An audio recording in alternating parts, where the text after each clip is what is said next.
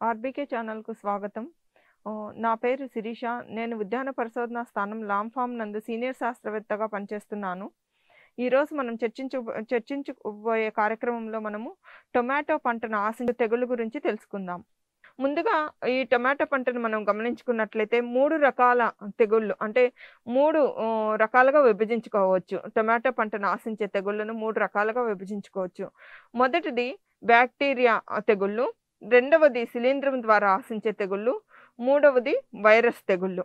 ఇందులో బ్యాక్టీరియా తెగుల్లో ప్రధానమైనది bacterial leaf spot bacterial leaf spot అంటే బ్యాక్టీరియల్ ఆకుమచ్చ తెగులు అని అంటాము. ఈ బ్యాక్టీరియల్ ఆకుమచ్చ తెగులు ఎప్పుడైతే వాతావరణము తేమగా ఉండి మనకి ఎక్కువగా వర్షాకాలంలో ఈ తెగులు ఆశించటానికి అవకాశం ఉంటుంది. ఈ తెగులు లక్షణాలు మనము ఆకుల మీద, అదేవిధంగా కాయల మీద, కొమ్మల మీద కూడా అంటే మనము ఈ కాయకు ఉన్న తొడిమ మీద, అదేవిధంగా అన్ని ప్రాంతాల్లో కూడా మనకి అన్ని మొక్క అన్ని భాగాల్లో కూడా ఈ తెగులు యొక్క లక్షణాలను మనము గమనించుకోవచ్చు. ముందుగా ఈ ఆకుల మీద మనం గమనించినట్లయితే కనుక నీళ్ళు నీటి మచ్చలు ఏర్పట్ట ఆకుల అడుగు భాగంలో నీటి మచ్చలు ఏర్పడటం జరుగుతుంది. అంతేకాకుండా ఆకు పైభాగం పసుపు రంగుకు మారిపోవటం తద్వారా ఈ ఎక్కడైతే ఈ మచ్చలు ఎక్కువ అయిపోయి ఆకు మొత్తము పసుపు రంగుకు తిరిగిపోయి ఆకు రాలిపోవటం జరుగుతుంది. అదేవిధంగా మనం కాయల మీద గమనించుకున్నట్లయితే కనుక లేత దశలో కాయల మీద ఉబ్బెత్తు మచ్చలు ఏర్పడి తర్వాత దాని చుట్టూతా నీరు పోసుకున్నట్లుగా చిన్నటి వలయాలు ఏర్పడుతూ ఉంటాయి. ఇవి వీటి ఉధృతి అంటే తీవ్రతరమైనప్పుడు ఆకుల మీద ఈ ఈ మచ్చలు ముదురు రంగులోకి మారిపోయి ఒక గజ్జి తెగుల్లాగా కనిపించటం జరుగుతూ ఉంటుంది. కాబట్టి దీన్ని నివారించుకోవటానికి మనము ఎక్కువగా ఇవి శిలీంధ్రాలు భూమిలో ఉండటం జరుగుతుంది. ఎప్పుడైతే ఈ వర్షాలు మనకి మొదలవుతాయో అప్పుడు ఇవి మొక్క భూ భూమిలో ఉన్న ఇవి ఏవైతే మన ఈ సోకిన తెగులు సోకిన భాగాల మీద కూడా ఇవి సంవత్సరాల తరబడి పొలంలో ఉండటం జరుగుతుంది. కాబట్టి వీటిని మనము సమగ్ర సస్యరక్షణ విధానాల ద్వారా నివారించుకునేందుకు అవకాశం ఉంటుంది. తర్వాత మనం చూసుకున్నట్లయితే కనుక వీటితో పాటుగా బ్యాక్టీరియాలో ఆశించేది బ్యాక్టీరియల్ ఎండు తెగులు. ఈ బ్యాక్టీరియల్ ఎండు తెగులు గమనించుకున్నట్లయితే కనుక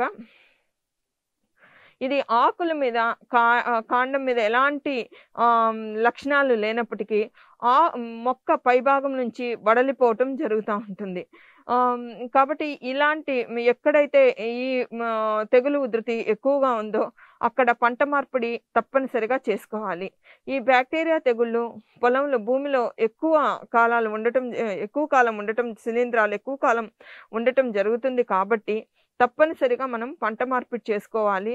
అదేవిధంగా మనము పచ్చిరొట్ట పైర్లను వేసుకోవాలి వీటితో పాటుగా ఎక్కడైతే ఈ బ్యాక్టీరియల్ విల్ట్ తెగులు ఎక్కువగా ఉందో ఆ ప్రాంతంలో మనము ఎకరానికి ఆరు కేజీలు చొప్పున బ్లీచింగ్ పౌడర్ వేసుకోవాలి. వీటితో పాటుగా ఈ పురుగు ఈ ఈ తెగులు ఉధృతి ఎక్కువగా ఉన్నట్లయితే కనుక మనము కాపర్ ఆక్సిక్లోరైడ్ అనే మందును మూడు గ్రాములు లీటర్ నీటికి కలిపి అది దీంతో పాటుగా స్ట్రెప్టోసైక్లిన్ అనే మందును రెండు గ్రాములు పది లీటర్లకు కలిపి పిచికారీ చేసుకోవాల్సిన అవసరం ఉంది. అదేవిధంగా మనకి ఎప్పుడైతే వాతావరణం చల్లటి వాతావరణంలో ఈ బ్యాక్టీరియల్ తెగుళ్ళు ఎక్కువగా వచ్చే అవకాశం ఉంది కాబట్టి ముందు జాగ్రత్త చర్యగా మనము వాతావరణము తేమగా ఉన్నప్పుడు అదేవిధంగా చల్లగా ఉన్నప్పుడు ముందు జాగ్రత్త చర్యగా మనము కాపర్ ఆక్సిక్లోరైడ్ మరియు స్టెప్టోసైక్లిన్ కలిపి పిచికారీ చేసుకోవటం ద్వారా మనము ఈ బ్యాక్టీరియా తెగులను మనం నివారించుకునే అవకాశం ఉంటుంది. ఇకపోతే శిలీంధ్రం ద్వారా ఆశించే తెగులను మనం గమనించినట్లయితే అందులో మన నారుమడి దశలో గమనించినట్లయితే ఈ డ్యాంపింగ్ ఆఫ్ ఇది నారుకుళ్ళు తెగులు ప్రధానమైనది. ఈ నారుకుళ్ళు తెగులు ఎక్కువగా ఎక్కడైతే మనము నారు ఒత్తుగా విత్తుకోవటం జరుగు విత్తనాలను ఒత్తుగా వేసుకున్న ప్రాంతాల్లో ఎక్కువగా ఆశించటం జరుగుతూ ఉంటుంది. కాబట్టి ఎక్కడైతే నారుమడి మనము వేసుకునే ప్రాంతము బాగా గాలి, వెలుతురు సోకే ప్రాంతమై ఉండాలి. అదేవిధంగా భూమిలో కూడా మంచి పోషకాలు లభించే విధంగా వేప చెక్క అదేవిధంగా వెర్మీ కంపోస్ట్‌ను కూడా మనము ఆ నారు పెంచే ప్రాంతంలో మనము జాగ్రత్తగా వేసుకోవాలి. ఈ తె- ఈ తెగులు ఆశించటం ద్వారా నారుమడి దశలో మొక్కలు గుంపులు గుంపులుగా చనిపోవటం జరుగుతూ ఉంటుంది కాబట్టి నారుమడి విత్తుకునే ప్రాంతాన్ని ముందు మనం కాపర్ ఆక్సిక్లోరైడ్ ద్రావణంతో శిలీంద్ర రహితం చేసుకోవాల్సిన అవసరం ఉంటుంది తర్వాత ఎక్కడైతే ఈ ఆ, ట్రైకోడర్మా ఈ విత్తనాలను తప్పనిసరిగా ట్రైకోడర్మా అనే జీవ శిలీంద్ర నాశనంతో పది గ్రాములు కిలో విత్తనాన్ని కలిపి విత్తన శుద్ధి చేసుకోవాల్సిన అవసరం ఉంది. అదేవిధంగా నారు మొక్క లేత దశలు అంటే తొమ్మిది మరియు అదేవిధంగా పదిహేను రోజుల తర్వాత విత్తుకున్న తర్వాత తప్పనిసరిగా మనము ఈ కాపర్ ఆక్సిక్లోరైడ్ ద్రావణంతో మన నారుమడిని తడుపుకోవాల్సిన అవసరం ఉంది. ఇకపోతే మనము ఆకుల మీద గమనించినట్లయితే కనుక సెప్టోరియల్ స్పాట్ అనేసి ఆకు మచ్చలు ఏర్పడటం జరుగుతూ ఉంటుంది ఈ శిలీంధ్రాల ద్వారా. కాబట్టి వీటిని గనక మనం గమనించినట్లయితే ఆకుల మీద చిన్నటి గోధుమ రంగు కలరు రంగు మచ్చలు ఏర్పడి ఇవి వలయాకారం గోధుమ రంగు మచ్చలు ఎక్కువగా వలయాలు ఇవి ముదురు రంగులోకి మారిపోయి ఆకులు మొత్తము వ్యాపించటం ద్వారా ఆకులు పండిపోయి రాలిపోవటం జరుగుతూ ఉంటుంది. కాబట్టి ఇవి ఎక్కువగా ముదురు ఆకుల మీద మనము ఇలాంటి ఆకుమచ్చ తెగులను ఆశించటం మనం గమనించుకోవచ్చు. ఇకపోతే వీటిలో ఆకుమచ్చ తెగుల్లోనే మనకి ఇది ఆకు మాడు తెగులు. దీన్నే ఎర్లీ బ్లైట్ అని కూడా అంటాము. ఈ ఎర్లీ బ్లైట్ తెగులు యొక్క లక్షణాలు ఆకుల మీద అదేవిధంగా కాండం మీద మరియు కాయల మీద కూడా మనం గమనించుకోవచ్చు. ఈ తెగులు ముదిరే కొంది దీని లక్షణాలు వలయాకారపు గోధుమ రంగు మచ్చలు మనం కాండం మీద అదేవిధంగా కాయల మీద మనము గమనించుకోవచ్చు. ఈ ఇది ఎక్కువగా మనకి అంటే పూత మరియు కాయ దశల్లో ఎక్కువగా టమాటో పంటను ఆశించడం జరుగుతూ ఉంటుంది. బ్లైటాక్స్ అనే మందును మూడు గ్రాముల లీటర్ నీటికి కలిపి పిచికారీ చేసుకోవాలి. లేదా మ్యాంగో జబ్ అనే మందును రెండు పాయింట్ ఐదు గ్రాములు లీటర్ నీటికి కలిపి పిచికారీ చేసుకోవాలి. లేదా క్లోరోథాలోనిల్ అనే మందును రెండు గ్రాములు లీటర్ నీటికి కలిపి పిచికారీ చేసుకోవటం ద్వారా ఈ ఈ తెగులను మనం నివారించుకునే అవకాశం ఉంది. అదేవిధంగా ఎక్కువగా ఏ ప్రాంతాలైతే నీటి ముంపుకు గురవుతాయో అక్కడ ఈ టొమాటోలో ఫిజేరియం విల్ట్ అంటే ఇది శిలీంద్రం ద్వారా ఆశించే ఈ తెగు ఎండు తెగులు. దీన్ని కూడా మనము సకాలంలో గుర్తించి నివారించుకోవాల్సిన అవసరం ఉంది. ఎక్కడైతే ఈ ఈ తెగులు ఆశించే ప్రాంతాలను మనము ముందుగా గుర్తించుకొని పంట మార్పిడి తప్పనిసరిగా చేసుకోవాలి. లేదా ఎక్కడైతే ఈ ఉధృతి ఎక్కువ ఉన్న ప్రాంతాల్లో మనము టమాటో పంటను ప్రతి సంవత్సరము వేసినట్లయితే గనక దీని ఉధృతి తీవ్రతరమయ్యే అవకాశం ఉంది. కాబట్టి ఈ తెగుల్ని మనం నివారించుకోవటానికి ఆ, ట్రైకోడర్మా అనే శిలీంధ్రాన్ని గనక మనము వృద్ధిపరిచి ఆ, చివరి దిక్కులో వేసుకున్నట్లయితే గనక ఈ తెగుల్ని చాలా వరకు మనకి మనం నివారించుకునే అవకాశం ఉంటుంది.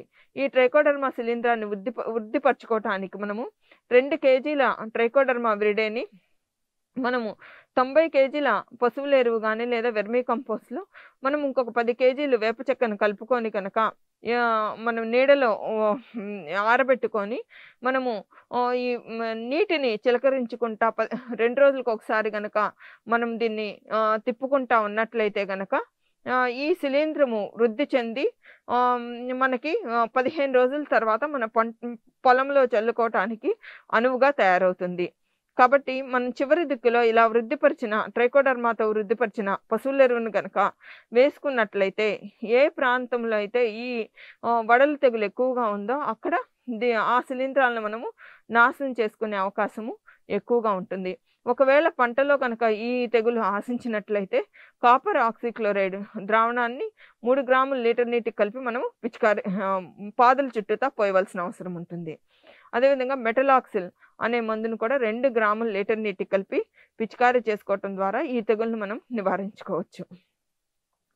ఇకపోతే మనము టమాటా పంటలో ఎక్కడైతే మనము ఊతం ఇవ్వకుండా భూమి మీదే కనుక పంటని ఉంచినట్లయితే కనుక మనకి కాయ కుళ్ళు తెగుళ్ళు ఎక్కువగా బక్కాయి రాట నేనంటే లేడి కన్ను తెగులు అదేవిధంగా వివిధ రకాల కాయకుళ్ళు ఎక్కడైతే కాయ నేలకు తాకుతున్న భాగాల్లో వివిధ రకాల శిలీంధ్రాల ద్వారా ఈ తెగుళ్ళు ఆశించటం జరుగుతూ ఉంది. కాబట్టి వీటిని మనం సకాలంలో గుర్తుంచుకొని ఈ తెగులు ముందుగానే సోకకుండా మనం తప్పనిసరిగా విత్తన శుద్ధి తప్పనిసరిగా చేసుకోవాలి. అదేవిధంగా ఈ శిలీంధ్రాలు ఎక్కువ భాగం భూమిలో కొన్ని సంవత్సరాల తరబడి ఉండటం జరుగుతాయి కాబట్టి మనం తప్పనిసరిగా పంట మార్పిడి చేసుకోవాలి. అదేవిధంగా పచ్చిరొట్ట పైర్లను వేసుకోవటం ద్వారా మనం ఈ తెగులు నివారించుకోవచ్చు. అంతేకాకుండా చివరి దిక్కులో రెండు వందల కిలోల వేప చెక్కను వేసుకున్నట్లయితే కనుక ఈ శిలీంధ్రాల ద్వారా ఆశించే తెగుళ్ళను చాలా వరకు మనము నివారించుకునే అవకాశం ఉంటుంది. ఇకపోతే మనం ఇందాక రసం పీల్చే పురుగులు చెప్పుకున్నప్పుడు ఈ వైరస్ తెగుళ్ళు అంటే ఈ రసం పీల్చే పురుగులు ఏవైతే మనము తామర పురుగులు అదేవిధంగా తెల్లదోమ ఈ తామ తామర పురుగులు తెల్లదోమ మరియు పేనుబంక ఈ మూడు రకాల పురుగులు వివిధ రకాల వైరస్ తెగుళ్ళను టమాటా పంటలో ఆశించటానికి వాహకాలుగా పనిచేయటం జరుగుతూ ఉంటుంది. కాబట్టి ముఖ్యంగా మనం టొమాటో స్పాటెడ్ విల్ట్ వైరస్ దీన్నే మనము మచ్చల మాడు తెగులు అని అంటాము. టొమాటో మీద ఈ పంట ఆశించినప్పుడు కాయల మీద అదేవిధంగా కాండం మీద కొమ్మల మీద నల్లటి మచ్చలు అదే పొడవాటి చారలు ఏర్పడటము అదేవిధంగా మొక్క చివరి భాగంలో అంటే లేత భాగాలు కూడా వడలిపోయి వడలిపోవటం జరుగుతూ ఉంటుంది. కాబట్టి ఇవి ఇది మనము తామర పురుగుల ద్వారా ఆశించిన ఈ పీనట్ బడ్ నెక్రోసిస్ వైరస్ లేదా టొమాటో స్పాటెడ్ విల్ట్ వైరస్గా మనం గుర్తించుకోవాలి. కాబట్టి వీటిని ఈ వైరస్ తెగుల్ని గుర్తించినట్లయితే కనుక అలాంటి మొక్కల్ని ఒకటి రెండు ఉన్నట్లయితే పొలంలో మనం పీకి నాశనం చేయాలి. తరువాత ఇది ఒక మొక్క నుంచి ఒక ఇంకొక మొక్కకి తామర పురుగుల ద్వారా వ్యాపిస్తుంది కాబట్టి ఈ తామర పురుగులను నివారించుకునే మార్గాలు మనం చూసుకోవాలి. అంతేకాకుండా నారుమడులు పెంచుతున్నప్పుడు నారుమడుల్లో ఎక్కడైతే ఈ ప్రోట్రేల్లో నారుని పెంచినట్లయితే గనక forty mesh insect proof nets ఏర్పాటు చేసిన నారుమల నుంచి మనము ఈ నారును సేకరించాల్సిన అవసరం ఉంటుంది.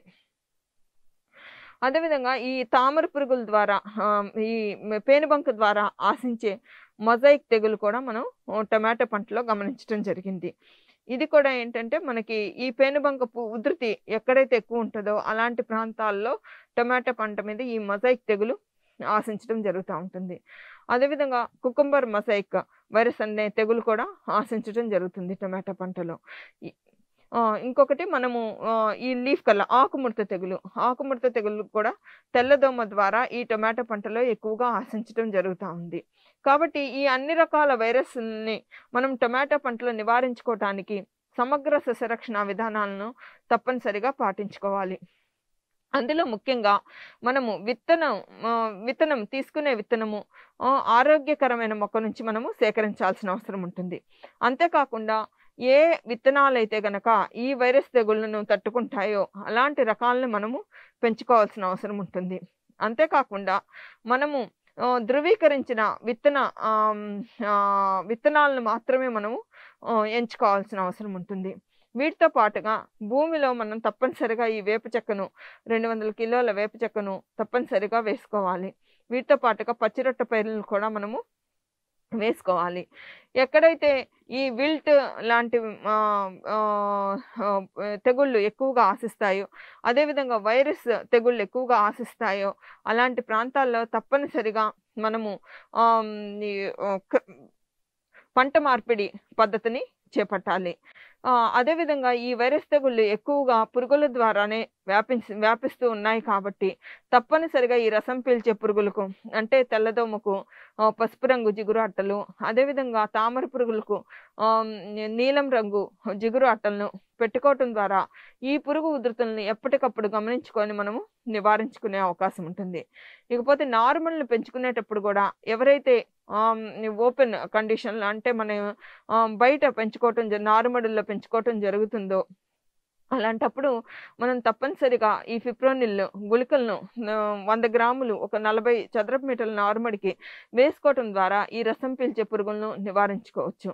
వీటితో పాటుగా ఎవరైతే ప్రోట్రేల్లో పెంచుకొని పాలీహౌసుల నుంచి గ్రీన్ షేడ్ నెట్స్ నుంచి సేకరించడం జరుగుతుందో తప్పనిసరిగా వారు ఫార్టీ మెష్ ఇన్సెక్ట్ ప్రూఫ్ నెట్స్ను ఉన్న ప్రాంతాల నుంచి మాత్రమే ఇవి నారుని సేకరించవలసిన అవసరం ఉంది. ఇకపోతే మనము వాడే పురుగు మందులు కూడా తప్పనిసరిగా మనము ఒకటే రకమైన పురుగు మందు వాడకుండా మార్చి మార్చి పిచికారీ చేసుకోవటం ద్వారా ఈ పురుగులు ఆ మందుకు తట్టుకునే శక్తిని వృద్ధి చేసుకోకుండా ఉండేందుకు అవకాశం ఉంటుంది.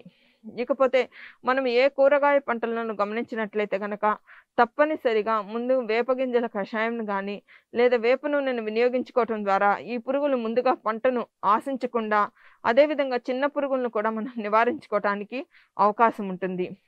అదే మనము పురుగు ఉధృతి ఎక్కువైనప్పుడు తప్పనిసరిగా మనము ఈ పురుగు మందుల మీద ఆధారపడవలసిన అవసరం వస్తుంది కాబట్టి ఈ జాగ్రత్త చర్యలు పాటించి తగిన వెయిటింగ్ పీరియడ్స్ అంటే పురుగు మనము కాయ కోసుకునే కోసుకోవడానికి మనము పురుగు మందు పిచికారీ చేసిన దానికి తగినంత వ్యవధి ఇచ్చిన తర్వాత మాత్రమే మనము మార్కెటింగ్కి మార్కెట్ చేసుకోవాల్సిన అవసరం ఉంది.